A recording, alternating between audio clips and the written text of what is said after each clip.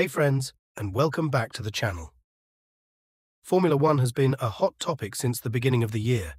It feels like we didn't even get a break between seasons with all that's been happening.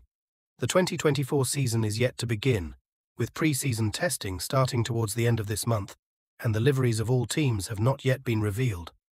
Following the announcement of seven-time world champion Lewis Hamilton's move to the Ferrari F1 team, things have been stirring up within the grid and among key figures in the sport, which has caused a mix of opinions and speculations. But it's not just that. Trouble seems to be brewing within the dominant Red Bull team. What can this mean for the rest of the season and even into the 2025 season? Let's get into it. Several drivers in the F1 paddock have shared their thoughts on Lewis Hamilton's possible move to Ferrari. Pierre Gasly, who drives for Alpine, has disclosed that Hamilton's surprise move did not take him by surprise. He further added that the information was kept confidential for a considerable amount of time and wished Hamilton good luck in his future endeavours. On the contrary, Fernando Alonso, who was a teammate of Hamilton at McLaren in the past, had some strong opinions about the move.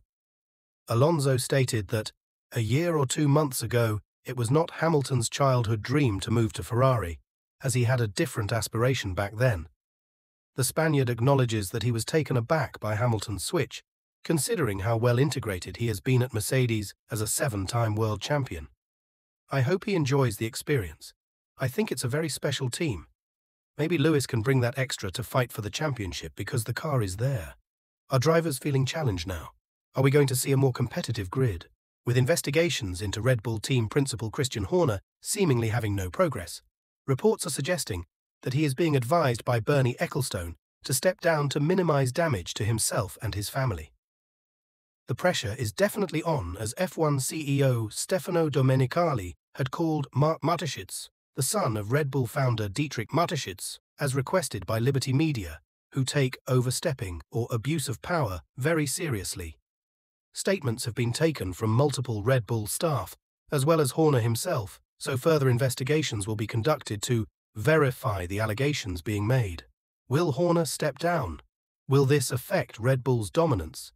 Ferrari team principal Fred Vasseur has been making headlines since signing seven-time world champion for the 2025 season. With earlier speculations of Adrian Newey, chief technical officer of Red Bull, possibly joining the Ferrari F1 team. And now, Ferrari is being linked to Red Bull's technical director, Pierre Wache. As Wache is Newey's right-hand man, it may put extra pressure on the already strained Red Bull team, with the current allegations being made against their team principal, Christian Horner.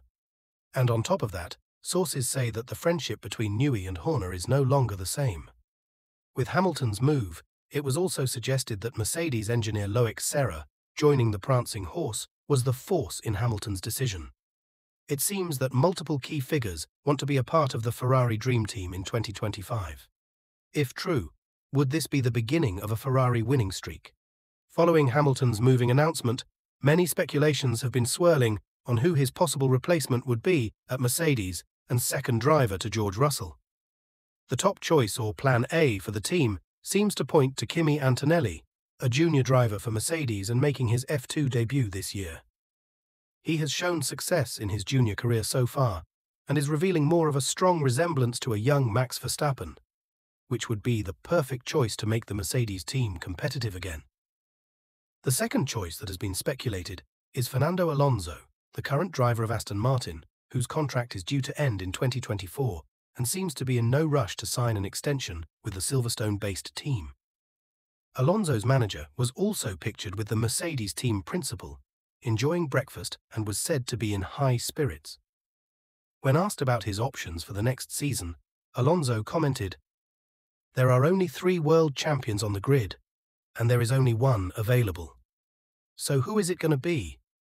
Who will Mercedes choose to fill in the seven-time world champion's shoes and hopefully become a competitive team again?